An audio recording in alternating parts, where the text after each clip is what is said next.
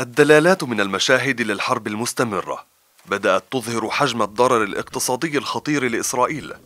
محللون يؤكدون تعرض الاقتصاد الإسرائيلي لضربة قوية جدا.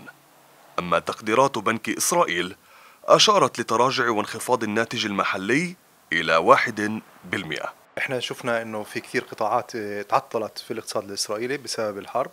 إن كان في الشمال آه، مدن وقرى كاملة آه، هجرت من سكانها وإن كان بالجنوب. وكمان في قطاعات اللي كمان مصالح اللي تسكرت بسبب الحرب. إن كان مجال السياحة مجال البناء في كثير قطاعات اللي هي كمان بسبب تجنيد القوى الاحتياط اليوم معطلة.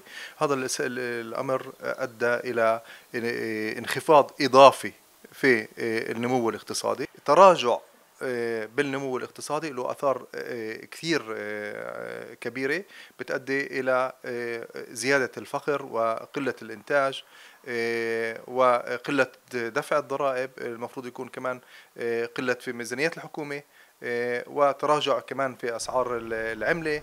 تأثر القطاعات المختلفة وتوقف عجلة الاقتصاد الإسرائيلي. جعل التأثير مضاعفا لفترات سابقة من الأزمات التي عصفت بإسرائيل وخاصة إن قورنت التأثيرات السلبية هذه بتأثيرات جائحة كورونا. فارتفاع الإنفاق الحكومي والاقتراض وانخفاض الضرائب في ذات الوقت الذي ضرب فيه الاقتصاد الإسرائيلي يجعل إسرائيل أمام مستقبل اقتصادي خطير.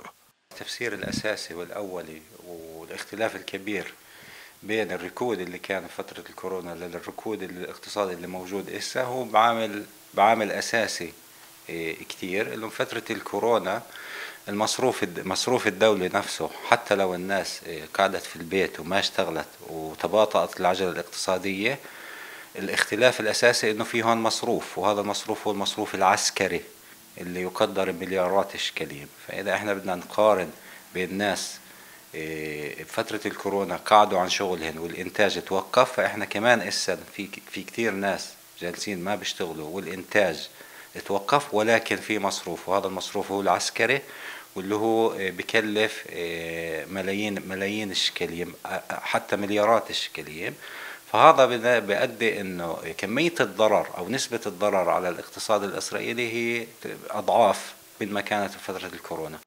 الخسائر الاقتصادية من مجمل القطاعات المختلفة.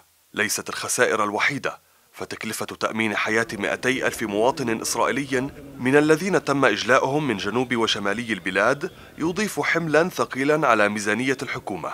ناهيك عن الأطنان من المتفجرات والذخائر التي يتم إلقاؤها يوميا على الأحياء من الفلسطينيين في قطاع غزة والتي يصعب إحصاء تكلفتها بحسب البعض. فيما يؤكد خبراء بتجاوز تكلفتها لمليارات الشواقل.